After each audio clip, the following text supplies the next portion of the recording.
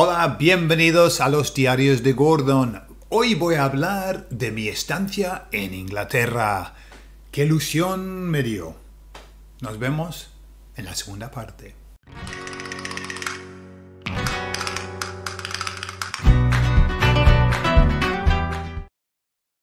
Acabamos de volver de Inglaterra.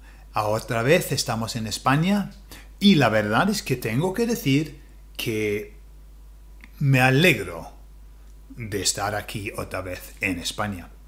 Pero también me ha encantado la estancia en Inglaterra. Eh, he visto a casi toda la familia. Toda la familia. El fin de semana pasado vinieron todos de, todos los lugares de Inglaterra eh, y pasamos una noche, un día y una noche juntos. Entonces he visto a mis hijos, he visto a mis hermanas, a mi madre, a mis tías, a mis em, eh, sobrinos. Fenomenal. Me, encantó, me encantó. Em, pero pasaron unas cosas rarísimas. Em, ya llevo siete años viviendo en España y la verdad es que he pasado muy poco tiempo en Inglaterra en los últimos cuatro años. He estado dos veces. Y no he estado en este mes, antes, hace mucho, en noviembre. Y claro que han cambiado la hora. Eh, noche a las cuatro y cuarto en Inglaterra. Aquí en España no, a las, eh, a las cinco y media, seis, algo así pero a las cuatro y cuarto. Pero y entonces se me había olvidado lo que pasa durante estos meses, noviembre, diciembre, enero. Y pasé todos los días pensando, ¿qué hora es? ¡Uh! Es la una, ¿vale? Es la una de la tarde. ¿Qué hora es? Pensando y, sintiendo en mi cuerpo que eran las 4 de la tarde. ¿Vale? Y luego a las 4 por ahí, mirando, pensando qué hora es, pensando que eran las 7, las 8. De hecho, a las 8 de la tarde, mi mente decía, Gordon, deberías eh, acostarte. Yo pensaba que eran las 11. Algo extraño que, que no he experimentado en mucho.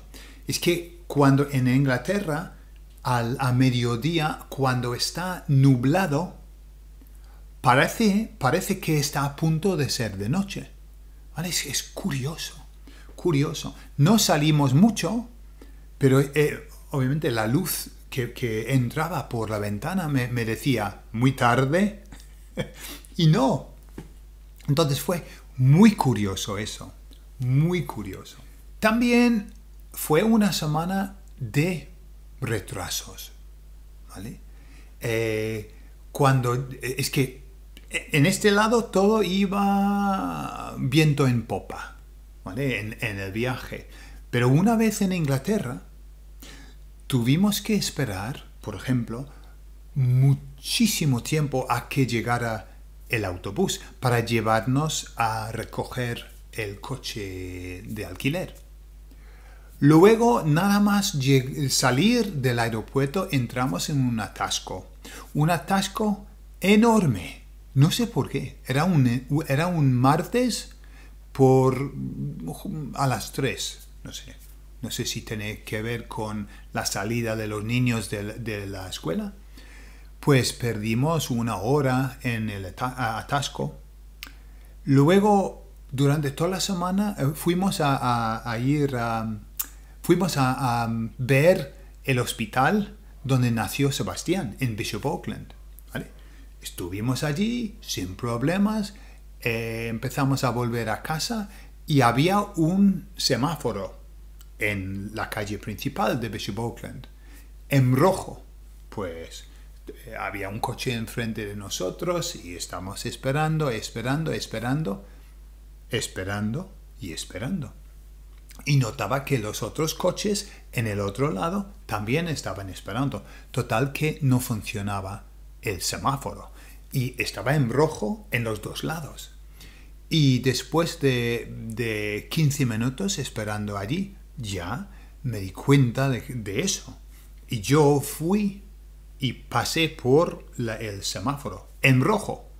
Y luego todos los coches lo hacían. Pero el problema que e, era que había un atasco de, de como una milla en los dos lados. Afortunadamente, solo tuve que esperar 15 minutos. Pero es que he notado, no sé por qué, pero retrasos en, en, muchos lugares, en muchos sitios. No sé por qué. No sé si hay una cantidad extra de semáforos en Inglaterra o muchas obras en la, en la calle, no sé. Pero bueno, total que al volver recibimos un email diciendo es mucho mejor estar tres horas antes del vuelo porque hay muchos atascos y retrasos y mucha gente. Pues después de una semana así, dijimos, sí, sin problemas, vamos a estar tres horas antes, ¿vale? Llegamos a Manchester tres horas antes del vuelo y no había ni Dios en la cola. Éramos cuatro gatos. Pasamos directamente sin problema. Bueno, casi tienes que desnudarte en Manchester. ¿Sabes? El cinturón, las botas, todo. Casi pasas por seguridad desnudo. ¿Vale? Y tienen que arreglar eso. Y luego entramos y tuvimos que esperar tres horas. Tres horas. Y luego el vuelo se retrasó. Media hora. Pero total que después de eso volvimos a casa, llegamos a casa, todo bien. La casa un poco fría después de estar enfriándose una semana, así que hace frío. Tenemos todo puesto. Pero muy bien, muy bien. Me encantó la, estancia, me encantó la experiencia. Y vamos a volver pronto.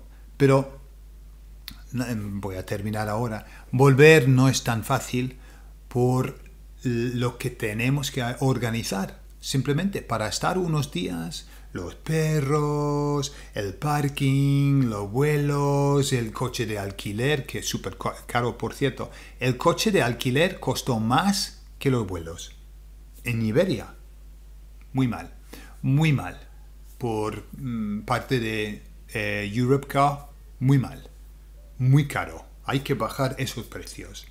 Eh, bueno, eso es todo, chicos, y aquí estamos otra vez. Vale, os quiero mucho. Hasta luego, adiós.